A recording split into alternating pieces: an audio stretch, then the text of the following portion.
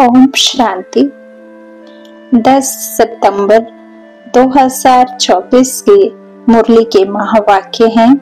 आज के साकार मुरली का सार, मीठे मीठे प्यारे प्यारे श्री बाबा ने कहा, मीठे बच्चे, माया को वश करने का मंत्र है, मन मना भव इसी मंत्र में सब खूबियाँ समाई हुई हैं। यही मंत्र तुम्हें पवित्र बना देता है। प्रश्न मुरली का आत्मा की सेफ्टी का नंबर वन साधन कौन सा है? और कैसे? उत्तर, याद की यात्रा ही सेफ्टी का नंबर वन साधन है, क्योंकि इस याद से ही तुम्हारे कैरेक्टर सुधरते हैं, तुम माया पर जीत पा लेते हो। याद से पतित कर्मेंद्रियाँ शांत हो जाती हैं। याद से ही बोल आता है। ज्ञान तलवार में याद का जौहर चाहिए याद से ही मीठे सतो प्रधान बनेंगे। कोई को भी नाराज़ नहीं करेंगे। इसलिए याद की यात्रा में कमज़ोर नहीं बनना है। अपने आप से पूछना है कि हम कहाँ तक याद में रहते हैं। ओम शांति। मीठे मीठे रूहानी बच्चों को रोज रोज सावधानी ज़रूर देनी होती है। कौन सी? सेफ्टी फ़र्स्ट सेफ्टी क्या है? याद की यात्रा से तुम बहुत बहुत सेफ़ रहते हो। मूल बात ही बच्चों के लिए यह है। बाप ने समझाया है, तुम बच्चे जितना याद की यात्रा में तत्पर रहेंगे उतनी खुशी भी रहेगी और मैनर्स भी ठीक होंगे। क्योंकि पावन भी बनना है कैरेक्टर्स भी सुधारना है, अपनी जाँच भी करना है। मेरा कैरेक्टर किसको दुख देने जैसा तो नहीं है, मुझे कोई देह अभिमान तो नहीं आ जाता है। यह अच्छी रीति अपनी जाँच रखनी है। बाप बैठ बच्चों को पढ़ाते हैं। तुम बच्चे पढ़ते भी हो तो फिर पढ़ाते भी हो। बेहद का बाप सिर्फ़ पढ़ाते हैं, बाकी तो सब हैं देहधारी। इसमें सारी दुनिया आ जाती है। एक बाप ही विदेही है, एक बाप ही ज्ञान का सागर है, एक बाप ही नॉलेजफुल है।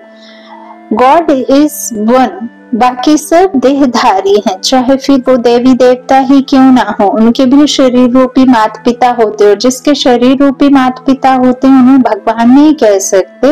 लेकिन हाँ मनुष्यों से ऊंच देवी देवता होते हैं, जो कि वो सतयुग में होते हैं और त्रेता में बाबा कहते हैं, तब भी उनकी अवस्था श्रेष्ठ ही रहती है, लेकिन चौदह कला हो जाते हैं। लेकिन द्वापर से फिर माया राज करती है और क्या हो जाते हैं? कामचिता पर बैठ आत्मा काली बन। मनुष्य योनि में आने शुरू हो जाती। वहाँ देवी देवता नहीं कहेंगे। तो बाबा कहते हैं, तुमको भी विदेही बनना है। ना, वह तुम बच्चों को कहते हैं कि तुम भी मुझ समान, बाप समान बनो। मैं आया हूँ तुमको विदेही बनाने, पवित्र बनकर ही वहाँ जाएँगे। छी छी को तो साथ ले नहीं जाएँगे, इसलिए पहले पहले मंत्र ही यह देते हैं। माया को वश करने का यह मंत्र है, पवित्र होने का यह मंत्र है। इस मंत्र में बहुत खुशियाँ खूबियाँ भरी हुई हैं। इनसे ही पवित्र बनना है। मनुष्य से देवता बनना है। ज़रूर हम ही देवता थे, इसलिए बाप कहते हैं, अपनी सेफ्टी चाहो, मज़बूत महावीर बनना चाहो तो यह पुरुषार्थ करो। बाप तो शिक्षा देते रहेंगे। भल ड्रामा भी कहे, कहते रहेंगे, ड्रामा अनुसार बिल्कुल ठीक ही चल रहा है, फिर आगे के लिए भी समझाते रहेंगे, याद की यात्रा में कमज़ोर नहीं बनना है, बाहर रहने वाली बाधेली गोपिकाएँ जितना याद करती हैं, उतना सामने रहने वाले भी याद नहीं करते हैं, क्योंकि उनको तड़फन होती है श्री बाबा से मिलने की, जो मिल जाते हैं, उन्हों का पेट जैसे कि भर जाता है अब देखो बाबा कितना बड़ी बात कहते हैं, जो बाबा के पास नहीं गए, जो मधुबन नहीं गए तो उनको इतनी तड़पन रहती है, बाबा कहते हैं, जो सम्मुख बैठे बच्चों को नहीं होती है लेकिन जो फिर एक बार मिल लेते हैं तो जैसे कि पेट भर गया हुँ? हम्म? पेट भर जाता है तो एक तरह से हम ही खुश हैं, क्योंकि अभी हम बाबा से मिलने के लिए तड़पते हैं, अभी तक नहीं गए ना तो याद जास्ती आती है। जो बहुत याद करते हैं, वह उच्च पद पा सकते हैं, देखा जाता है।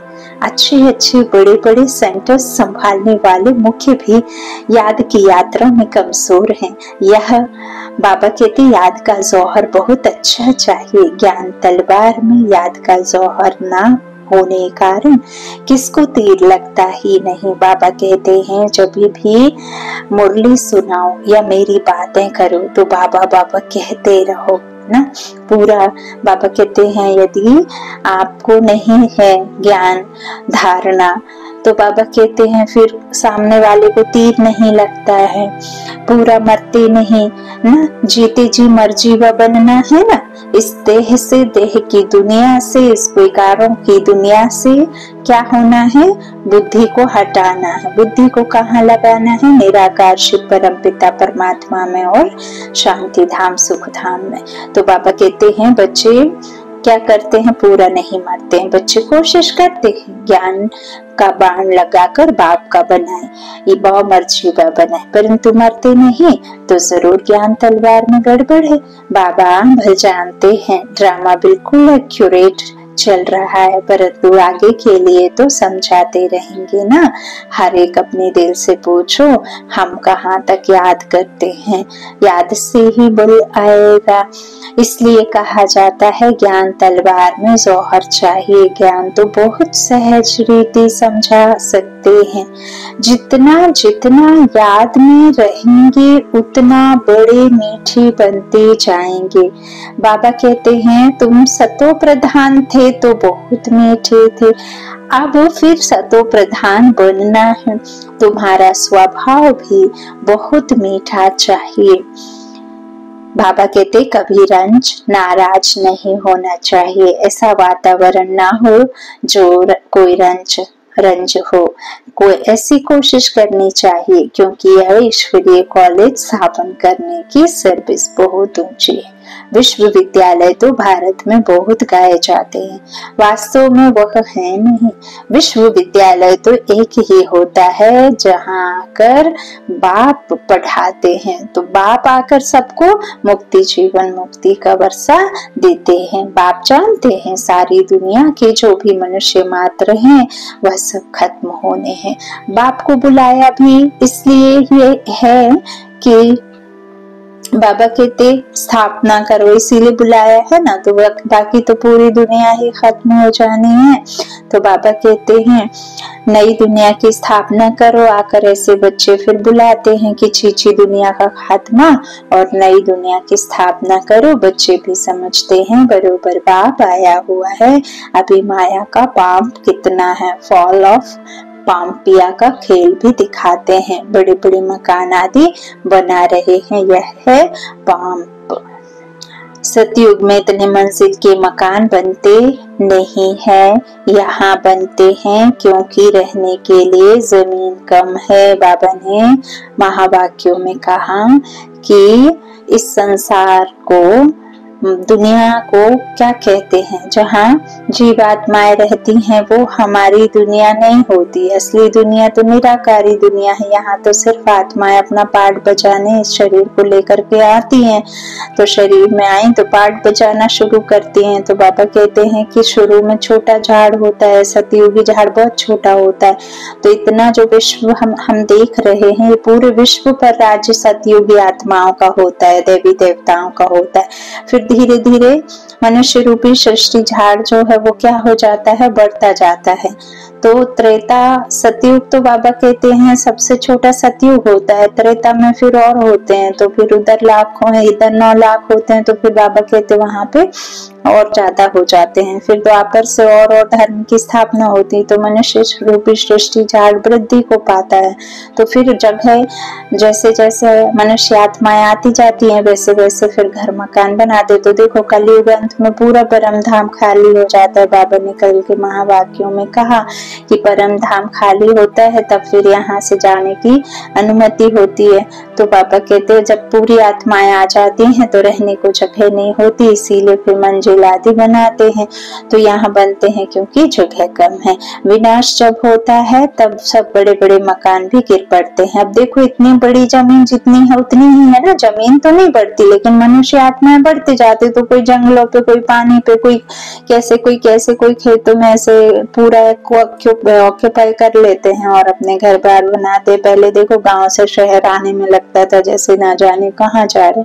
अब गाँव, शहर एक जुड़ गए हैं ना। इतने घर मकान बन गए हैं कि लगता ही नहीं कि दूसरी जगह जा रहे हैं। तो बाबा क्या कहते हैं कि ये सब पांप है। सतयुग में इतने मंजिल के मकान बनते नहीं है, यहाँ बनते हैं। विनाश जब होता है, तब सब सब बड़े बड़े मकान भी गिर पड़ते हैं। अभी देख ही लिया होगा कि आंध्रा में जो आया है, विजयवाड़ा में कैसे सब मकान आदि बह गए हैं ना? गाय बह गई, पशु पशु बहे हैं। तो आगे इतनी बड़ी बड़ी बिल्डिंग नहीं बनती थी। बॉम्ब्स जब छोड़ेंगे तो ऐसे गिरेंगे जैसे ताश के पत्ते गिरते हैं।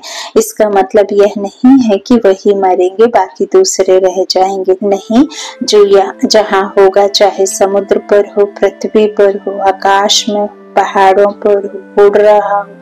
सब खत्म हो जाएँगे। यह पुरानी दुनिया है ना? जो भी चौरासी लाख योनिया है, यह सब खत्म हो जाने हैं। चौरासी लाख योनिया बाबा ने कहा, लेकिन मनुष्य की योनि कोई जानवरों में चाहे नहीं जाती है। तो ये टोटल जितनी भी योनिया है, बाबा कहते, पशु, पक्षी, जीव, जंतु की सबको मिला के चौरासी लाख कह सकते। लेकिन मनुष्य मनुष्य की योनि में ही जाता है ना? तो बाबा कहते चौरासी लाख योनिया है, यह सब खत्म हो जाने हैं। वहाँ नई दुनिया में यह सब कुछ भी नहीं होगा। ये ना इतने मनुष्य होंगे न मच्छर न जीव जंतु आदि होंगे यहाँ तो ढेर के ढेर हैं अब तुम बच्चे भी देवता बनते हो तो वहाँ पर हर चीज़ सतो प्रधान होती है यहाँ भी बड़े आदमी के घर में जाएँगे तो बड़ी सफ़ाई आदि रहती है तुम तो सबसे जास्ती बड़े देवता बनते हो।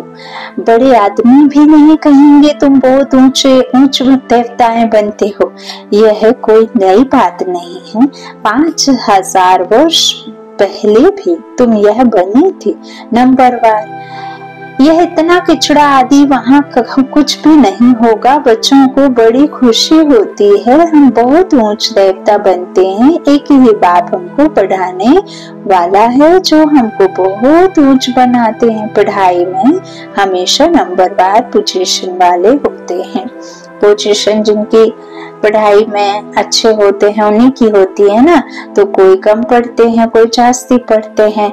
अब बच्चे पुरुषार्थ कर रहे हैं। बड़े बड़े सेंटर्स खोल रहे हैं, इसलिए कि बड़ों बड़ों को मालूम पड़े। भारत का प्राचीन राजयोग भी गाया हुआ है। खास विलायत वालों को जास्ती उस उत्सुकता होती है। राजयोग सीखने की भारतवासी तो तमो प्रधान बुद्धि है। वह फिर भी तमो बुद्धि है, इसलिए उनको शौक रहता है। भारत का प्राचीन राजयोग सीखने का।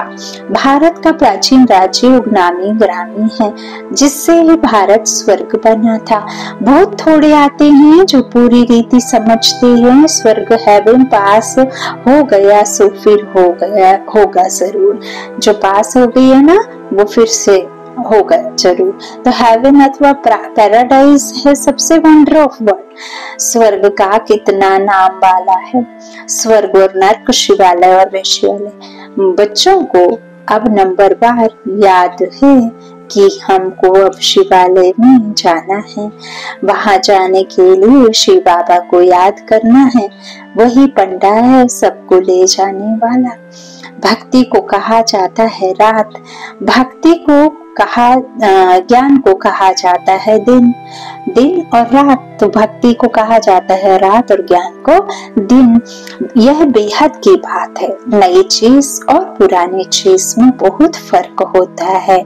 अब बच्चों की दिल होती है, इतने ऊंचते ऊंच पढ़ाई ऊँचे ऊँचे मकान में हम पढ़ाएँ तो बड़े बड़े लोग आएँगे। एक एक को बैठ समझाना पड़ता है। वास्तव में पढ़ाई व शिक्षा के लिए एकांत में स्थान होते हैं। ब्रह्म ज्ञानियों के भी आश्रम शहर से दूर दूर होते हैं और नीचे ही रहते हैं। इतने ऊपर की मंजिल पर नहीं रहते हैं। अभी तो तमो प्रधान होने से शहर में अंदर घुस पड़े हैं। वह ताकत खत्म हो गई है। इस समय सबकी बैटरी खाली है। अब बैटरी को कैसे भरना है? यह बात के सिवाय कोई भी बैटरी चार्ज कर ना सके। करंट तो एक ही जगह से आती है, ना? फिर चाहे आप उसे मिक्सी के द्वारा यूज़ करो, चाहे प्रेस के द्वारा, चाहे गैस के द्वारा, चाहे वॉशिंग मशीन के द्वारा, चाहे फ्रिज के द्वारा कूलर के द्वारा एसी के द्वारा, किसी भी प्रकार से उसे यूज़ करो, उसके अलग अलग उसमें यूज़ होगा, लेकिन पावर का एक ही ज़रिया है, वो है इलेक्ट्रिसिटी मीटर और वो इलेक्ट्रिसिटी मीटर तो एक घर के लिए अलग अलग यूज़ कर रहे हैं। लेकिन ऐसे ही जो इलेक्ट्रिसिटी मीटर होते हैं, ऐसे एक पावर पॉइंट होता है जहाँ से पूरे घरों में पावर जाती है। तो यही परमपिता परमात्मा का भी कहना है कि पावरफुल सिर्फ़ मैं हूँ। सिर्फ़ बाबा पावरफुल है और तुम सब मुझसे ही पावर ले सकते हो तो कनेक्शन डायरेक्ट जोड़ना पड़ेगा ना? नहीं तो फिर नहीं आएगी करंट है ना? इनडायरेक्ट तो नहीं आएगी। तो बाबा कहते हैं, वह ताकत अभी खत्म हो गई है। बैटरी इस समय खाली है। अब बैटरी को कैसे भरना है? तो वो सिर्फ़ बाप ही भर सा बाप के सिवाय कोई भी बैटरी चार्ज नहीं कर सकेंगे। बच्चों को बैटरी चार्ज करने से ही ताकत आती है। उसके लिए मुख्य है याद। उसमें ही माया के विघ्न पड़ते हैं। कोई तो सर्जन के आगे सच बतलाते हैं, कोई छुपा लेते हैं। अंदर में जो खामियाँ हैं, वह तो बाप को बतलानी पड़े। इस जन्म में जो पाप किए हैं वह विनाशी सज्जन के आगे वर्णन करना चाहिए। नहीं तो वह दिल अंदर खाता खाता रहेगा। सुनाने के बाद फिर खाएगा नहीं। अंदर रख लेना। यह भी नुकसान कारक नुकसान कारक है। जो सच्चे सच्चे बच्चे बनते हैं, वह सब बाप को बतला देते हैं। इस जन्म में यह यह पाप किए हैं। दिन प्रतिदिन बाप ज़ोर देते रहते हैं। यह तुम्हारा अंतिम जन्म है। तमो प्रधान से पाप तो ज़रूर होते हैं ना? बाप कहते हैं, मैं बहुत जन्मों के अंत में जो नंबर वन पतित बना है, सबसे जास्ती जन्म सबसे पहले पतित वही बनेगा जिसने सबसे पहले क्या लिया है? जन्म तो प्रिंस जो राजकुमार है कृष्ण, उसके चौरासी जन्म हुए। तो वही लक्ष्मी नारायण, है ना, बाबा कहते ना नारायण बनने में क्या है? एक सीढ़ी चढ़ना, लिफ्ट कराते ना बाबा संगम पर लेकिन ब्रह्मा सो, विष्णु विष्णु सो, ब्रह्मा। तो विष्णु से ब्रह्मा बनने में कितने जन्म लेने पड़ते हैं? चौरासी। वो विष्णु बनने में एक जन्म। तो बाबा यही कहते हैं, ब्रह्मा की रात और ब्रह्मा का दिन गाया हुआ है ना? तो ब्रह्मा की रात, ब्रह्मा का दिन। हम्म?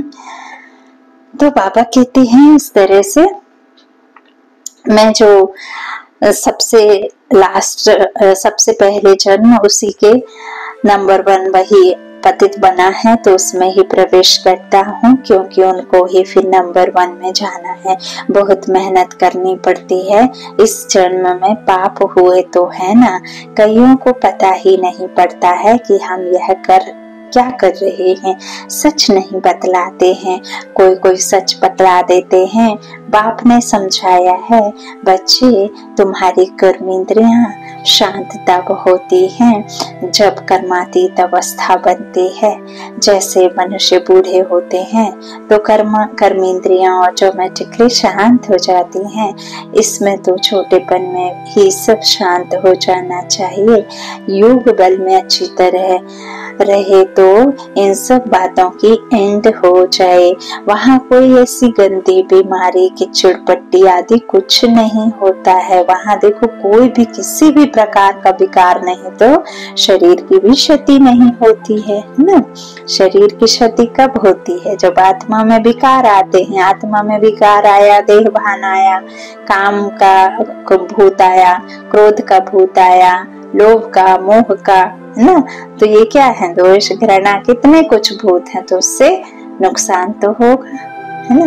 तो बाबा कहते हैं, यहाँ देखो कितना गंदी बीमारी की चुटपट्टी आदि कुछ नहीं होता है वहाँ पे। तो मनुष्य बड़े साफ़, शुद्ध रहते हैं। वहाँ है ही राम राज्य यहाँ है रावण राज्य तो अनेक प्रकार की गंदगी की बीमारियाँ आदि हैं। सतयुग में यह कुछ होती नहीं। बात मत पूछो। नाम ही कितना फ़र्स्ट क्लास है, स्वर्ग नई दुनिया। बड़ी सफ़ाई रहती है। बाप समझाते हैं इस पुरुषोत्तम संगम युग पर ही तुम यह सब बातें सुनते हो। कल नहीं सुनते थे। कल मृत्यु लोक के मालिक थे। आज अमर लोक के मालिक बनते हो। निश्चय हो जाता है। कल मृत्यु लोक में थे। अभी संगम युग पर आने से अमर लोक में जाने के लिए तुम पुरुषार्थ कर रहे हो। पढ़ाने वाला भी अब मिला है। जो अच्छी रीति पढ़ते हैं तो पैसा आदि भी अच्छा कमाते हैं। बलिहारी पढ़ाई की कहेंगे, यह भी ऐसे है। इस पढ़ाई से तुम बहुत ऊंच पद पाते हो। अभी तुम रोशनी में हो। यह भी सिवाय तुम बच्चों के और कोई को मालूम नहीं है। तुम भी फिर घड़ी घड़ी भूल जाते हो। पुरानी दुनिया में चले जाते हो। भूलना माना पुरानी दुनिया में चले जाना।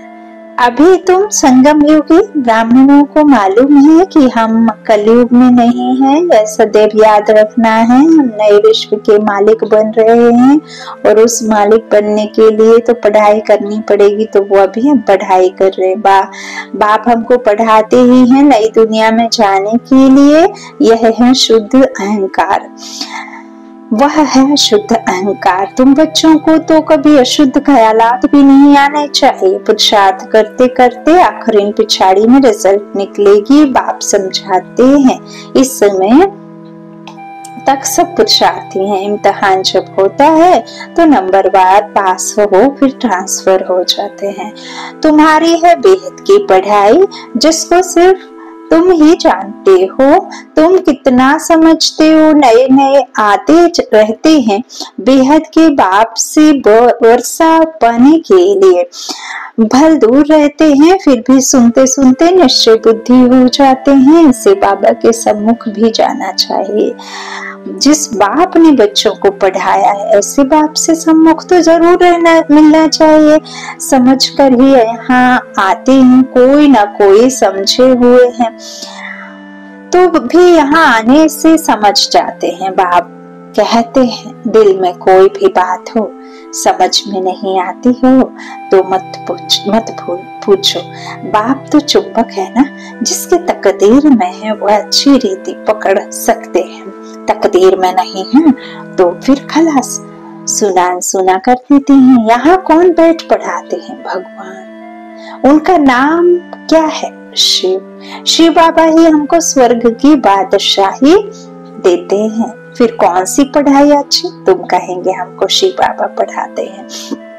जिससे किस जन्मों की बादशाही मिलती है। ऐसे ऐसे समझाते समझाते ले जाते हैं। कोई तो पूरा ना समझने कारण इतनी सर्विस नहीं कर सकते हैं। बंधन की जंजीरों में जकड़े रहते हैं। शुरू में तो तुम कैसे अपने को जंजीरों से छुड़ा कर है? जैसे कोई मस्तान होते हैं। यह भी ड्रामा में पार्ट था जो कशिश हुई। ड्रामा में भट्टी बननी थी। जीते जी मरे, फिर माया की तरफ़ कोई कोई चले गए। युद्ध तो होती है ना? माया देखती है। इतनी, इसने बड़ी हिम्मत दिखाई। अब हम भी ठोक कर सक, देख सकते हैं कि पक्के हैं वह नहीं। बच्चों की कितनी संभाल होती है, सब कुछ सिखलाते थे तो बच्चे एल्बम आदि देखते हो, लेकिन सिर्फ़ चित्र देखने से भी समझ ना सके। कोई बैठ समझाए कि क्या क्या होता है, था, कैसे भट्टी में पड़े थे। फिर कोई कैसे निकले, कोई कैसे। जैसे रुपए छपते हैं तो भी कोई कोई खराब हो फिरते हैं भी ईश्वरीय मिशनरी है। ईश्वर बैठ धर्म की स्थापना करते हैं, यह बात किसको भी पता नहीं है। बाप को बुलाते हैं, परंतु जैसे तबाही समझते ही नहीं। कहते हैं, यह कैसे हो सकता है? माया रावण एकदम बना दे, जैसा बना देती है। शिव बाबा की पूजा भी करते हैं, फिर कह देते सर्वव्यापी। शिव बाबा कहते हो, फिर सर्वव्यापी कैसे होगा? पूजा करते हैं, लिंग को शिव कहते हैं। ऐसे थोड़े ही कहते हैं कि इसमें शिव बैठा है। अब पत्थर टिककर भीतर में भगवान को कहना तो क्या सब भगवान ही भगवान है? भगवान अनलिमिटेड तो नहीं होंगे ना? तो बाप बच्चों को समझाते हैं। कल्प पहले भी ऐसे समझाया था। अच्छा मीठे मीठे सिक्के लदे बच्चों प्रति। माता पिता बाप दादा का याद प्यार और गुड मॉर्निंग रूहानी बाप की रूहानी बच्चों को नमस्ते। धारणा के लिए मुख्य सार पहला बाबा ने कहा, ऐसा मीठा वातावरण बनाना है जिसमें कोई भी नाराज़ ना हो।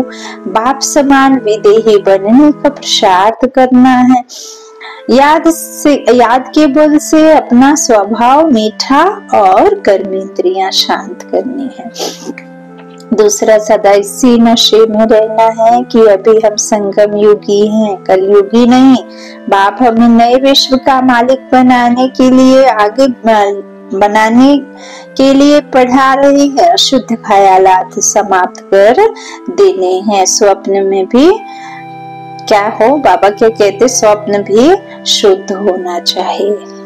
वरदान, अकाल तख्त और दिल तख्त पर बैठ सदा श्रेष्ठ कर्म करने वाले कर्मयोगी भव अकाल तख्त और दिल तख्त पर बैठ सदा श्रेष्ठ करने, कर्म करने वाले कर्मयोगी भव इस समय आप सभी बच्चे बच्चों को दो तख्त मिलते हैं, एक अकाल तख्त, दूसरा दिल तख्त। लेकिन तख्त पुत्र पर वही बैठता है, जिसका राज्य होता है। जब अकाल तख्त नशीन है तो स्वराज अधिकारी है। और बाप के दिल तख्त नशीन है तो बाप के वर्षी के अधिकारी है, जिसमें राज्य भाग्य सब आ जाता है। कर्मयोगी अर्थात दोनों तख्त नशीन। ऐसे तख्त नशीन आत्मा का हर कर्म श्रेष्ठ होता है, क्योंकि सब कर्मेंद्रिया लॉ और ऑर्डर कर रहती है। स्लोगन है जो सदा स्वमान की सीट पर सेट रहते हैं, वही गुणवान और महान है। जो सदा स्वमान की सीट पर सेट रहते, वही गुणवान और महान है। अच्छा ओम शांति।